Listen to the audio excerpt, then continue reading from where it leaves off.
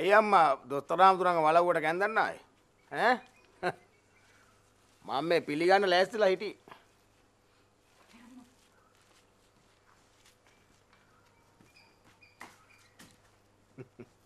අප්පෝ. කොල්ල. ඔල්ල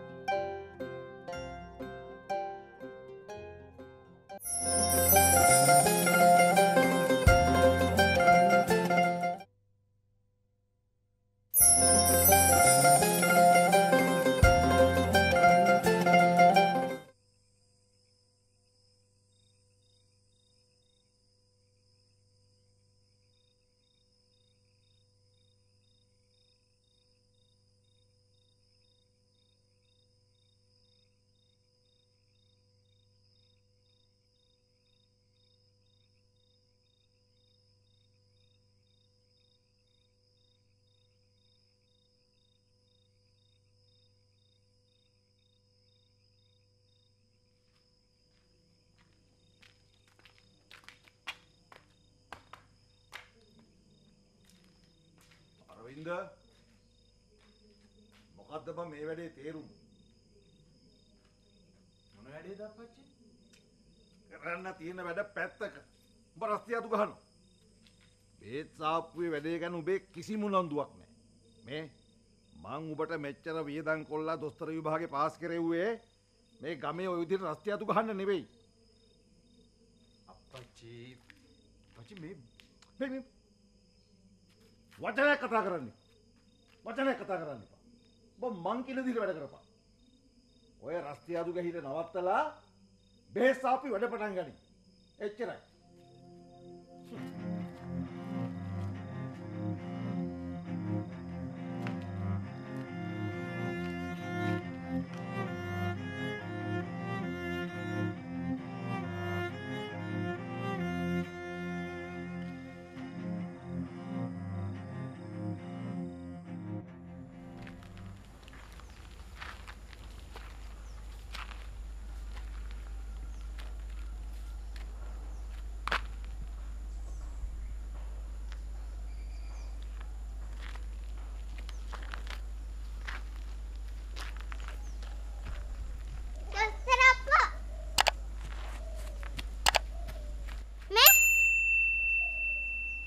දොස්තර අප්පු දුන්න. පරණ බෑන්ඩ් එකට මට අලුත් බෑන්ඩ් එකක් හම්බුණා. කාගෙන්ද? අනුත්තරා මැණිකගේ අනුත්තරා මැණිකට අර පැරණ බෑන්ඩ් එක ගොඩාක් වටිනවා කිව්වා. මට ඉතින් ඔය අලුත් බෑන්ඩ් එක දුන්නා. ලස්සනයිද?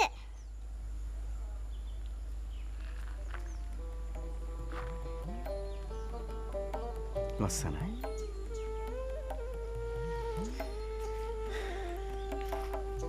ගොඩාක් ලස්සනයි හරියට ඔයාගේ අනුත්තරා මැණිකගේ හිත වගේම ලස්සනයි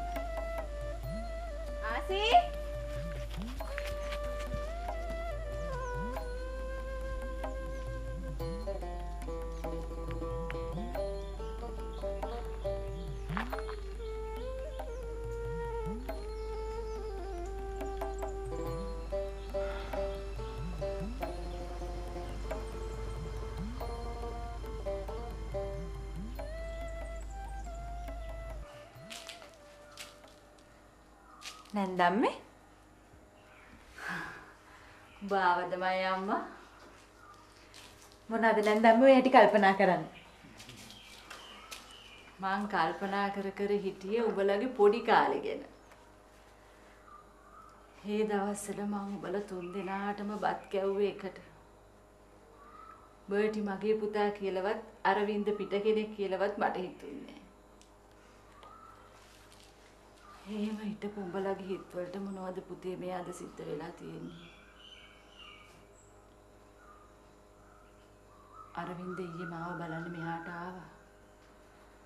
බලව්වට අවම් ප්‍රශ්නයක් ඇති වෙයි කියලා මං එහෙම්මම පිටත් කරලා ඇරියා. අනුත්තර හදුවත් ඔය පුතා වෙලව ගත්තා කියලා කිව්වා. මං එයා වෙලව ගත්තේ නෑ නැන්දම්මේ. නන්දිතා නැන්දගේ කටේ හැටි නැන්දම්ම දන්නවනේ. පව් ඒ දරුවා.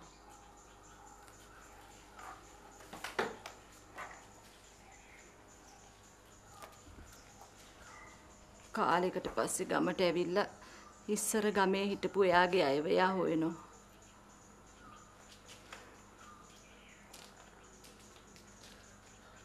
ඒ අයව නැති කරගත්තේ එයාගේ අප්පච්චිමයි කියලා නැන්දම් එයාට කියලා දුන්නේ නැද්ද?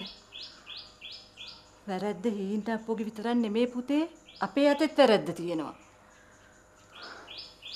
ඒ කොහොම වුණත් නැන්දම්මේ හී මාමණ්ඩි කරපු කියපු දේවල් එක්ක අපිට තවදුරටත් ඒ බලව්වත් එක ගනුදෙනුවක් තියාගන්න බෑ. හීන් අප්පෝගේ දුෂ්ටකම් අරවින්දගේ ඇඟේ ගෑවිලවත් නෑ. ඒ දරුවා අහිංසකයි. ජීවිතේ ඒ දරුවට නොලැබිච්ච ආදරේ ඒ දරුවා අපෙන් හොයනවා.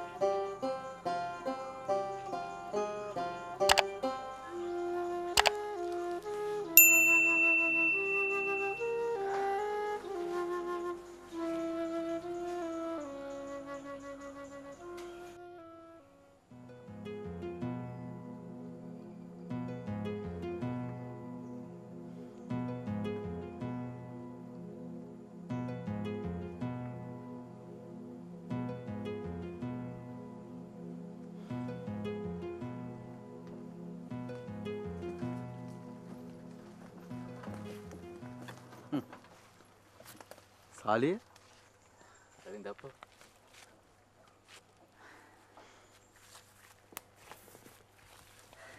සාලිය මාව මගදාලාවට මං කොහොමරි ගමට ආවා. මන් දන්නවා අරවින්ද අප්පට ගමට එන්න පාර අමතක නෑ කියලා. පාර විතරක් නෙමේ සාලිය. මට ගමේ හැම දෙයක්ම හොඳටම මතකයි. හැබැයි මට මේ ඉස්කෝලේ දකිනකොට නම් හිතෙනවා ගමේ හුඟ දෙනකුට පරණ දේවල් අමතක වෙලා කියලා. සාලිය පොඩි කාලෙ ගියේ මේ ඉස්කෝලෙටද? ඒ ගමට ඉස්කෝලේ වැඩක් නෑ අප්පෝ.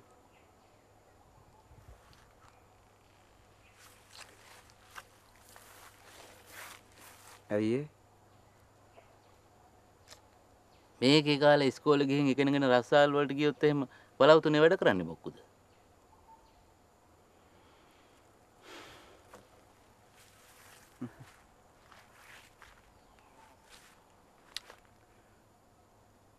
අපි ඉස්කෝලේ ආපහු හදමු.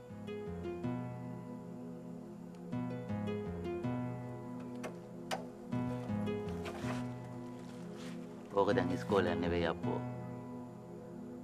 බර්ටි අප්පගේ බූදලයක්. ඕකට අත තියන්න ගිහින් නිකන් අත පුච්ච ගන්න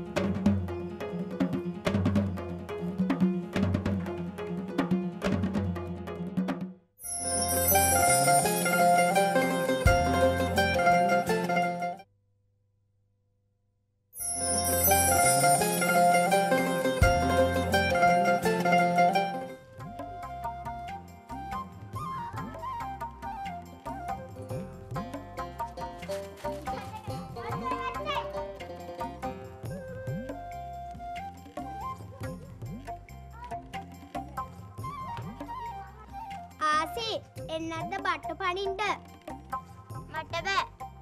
එයාට අලුත් කොන්ඩ බෑන්ඩයක් හම්බෙලානේ. ඒකයි ඔය ආඩම්බර අපෝ ඒක හැටි කිසි ලස්සනන්න මොකක්ද කිව්වේ? ඔයාගේ කොන්්ඩගට්ට ලස්සන නැතිලු. එයාට පිස්සු. අරවින්ද අපොත් කිව්වම එක ගොඩක් ලස්සනයි කියලා. කොච්චරද ලස්සනයි කියනවනම් අනුත්තරාමණිකගේ හිත තරම් ලස්සනයිලු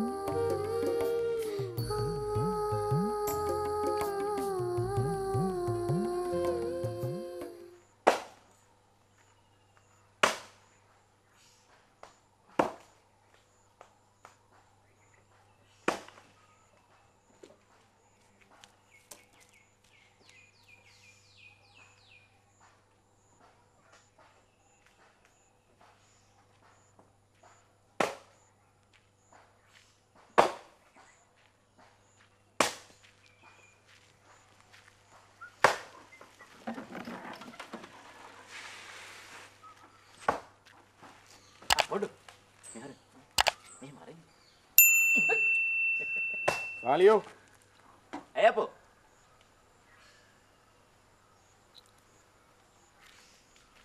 ආ. සාලි අප්පු ඔහොම ඉන්න. මං එන්න ළඟ.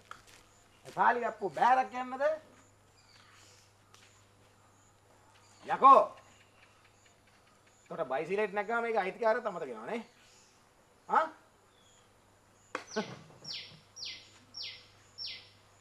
දැන් ඔබ හිතාගෙන ඉන්න ඔබ ලොකු මිනිහෙක් කියලානේ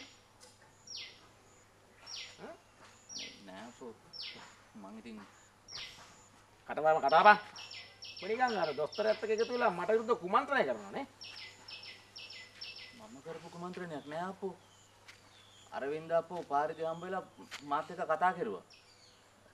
ඉතින් මම කිසිම දෙයකට උත්තර බඳින්න ගියේ නෑ. හ්ම්. අරවින්ද අපෝ කතා කරලා යන්න ගියා. හරි දැන් මොනවද උඹලා කතා කරේ ඉස්කෝලේ ගැන. ඉස්කෝලේ ගැන? දැන් මොනවද ඌට ඉස්කෝලේ ගැන කියන්නේ තියෙන්නේ? ඉස්කෝලේ ආයෙත් පටන් ගන්න ඕනේ කිව්වා. ආ. ඉස්කෝලේ ආයෙ පටන් ගන්න. ඉස්කෝලේ ආයෙ පටන් ගන්න නම් ඉතින් ඌට ආයෙත් ඉස්කෝලේ ගිහිල්ලා එන්න වෙයි. උන්ද දඟලන වැඩි. පේන හැටියට ඉක්මනින්ම සැලකුම් බැලුම් ටිකක් ලබන්න වගේ හදන්නේ හරි. ඒක අතැල්ලා දාමුකෝ දැන් අඩුව තියෙන උඹත් එක්ක. ඌත් එක්ක කතා කරන්නේ කි? මම මොකද කතා කරන්න ගියේ නෑ අපෝ.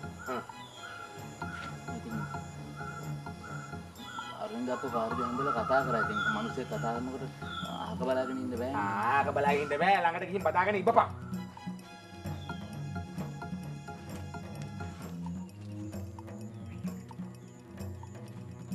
මල්ලඟ ඉන්නේ උන්.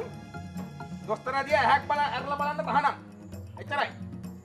මං කියන්නේ අහන්න බැරි රස්සාවේ බයිසිකලේ දෙකම දාලා ගෙදර